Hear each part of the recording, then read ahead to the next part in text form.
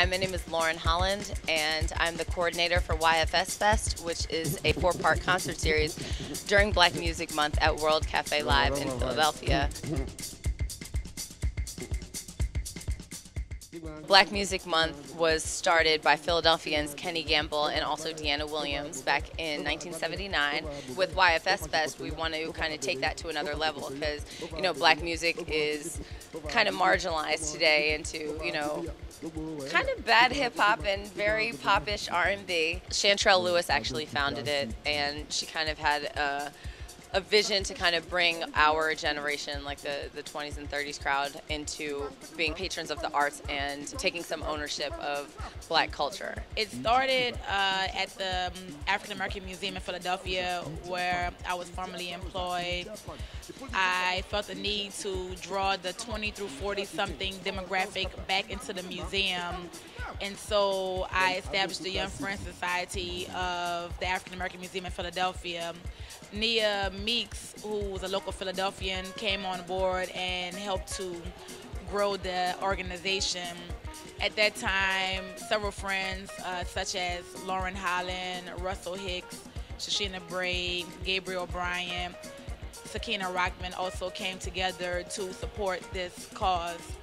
After about two years of growing success at the African American Museum in Philadelphia, we thought it was important to take this idea and help to establish young friend societies in different cities around the African diaspora. I'm very pleased, I'm very excited, I'm very proud to say this is our second year doing this wonderful benefit series that actually helps to benefit local institutions such as the Marian Anderson Historical Society, Paul Robeson House, Art Sanctuary, and a new Freedom Theater. And so it's very amazing. The lineup is amazing. Curating the acts is is you know an amazing process because we definitely want to have artists from all over the African diaspora represented. And having artists like Seun Kuti, who is part of a legacy that has transcended so many cultures. His father, of course, Fela, you know, established the art of Afrobeat or the sound of Afrobeat and really is so popular now in the rest of the world.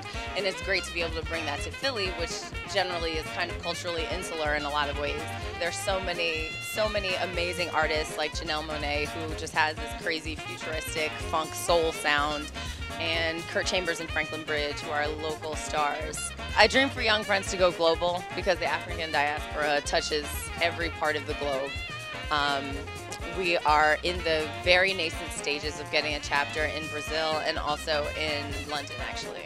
So we're hoping to move into the different continents and then also hopefully get chapters in Africa and you know all, all the countries there. The Young Friends website is www.youngfriendssociety.org and you can get tickets from the World Cafe website which is tickets.worldcafelive.com. We have a lot of great shows going on uh, during the month of June and we hope you can make it.